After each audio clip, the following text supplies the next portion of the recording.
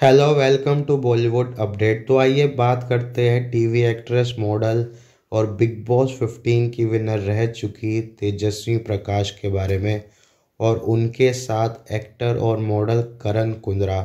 तो जैसा आप लोगों को पता ही होगा कि ये दोनों जोड़ी बने बिग बॉस 15 में और बिग बॉस 15 में इन दोनों की जोड़ी को बहुत ही पसंद किया गया और बिग बॉस 15 से निकलने के बाद ये जोड़ी हमेशा ही ट्रेंड में और सोशल मीडिया पे छाई रहती है। तो पब्लिक की और फैंस की बहुत डिमांड थी कि ये दोनों साथ में दिखे। तो इन दोनों का एक सॉन्ग आज रिलीज़ हो गया है। सॉन्ग का नाम है रुला देती है। ये सॉन्ग गाया है यासिर देसाई ने और ये एक सैड सॉन्ग है। यासिर देसाई के ज़्यादातर सॉन्ग सैड ही होते हैं। तो इसमें हमें तेजस्वी प्रकाश और करण कुंद्रा दोनों देखने को मिल रहे हैं।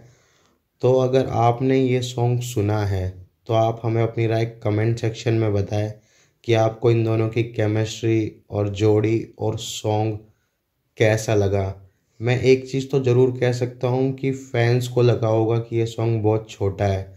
हम इन्हें और देखना चाहते हैं। बाकी आपकी जो भी राय है, हमें लिख के ज़रूर बताएँ।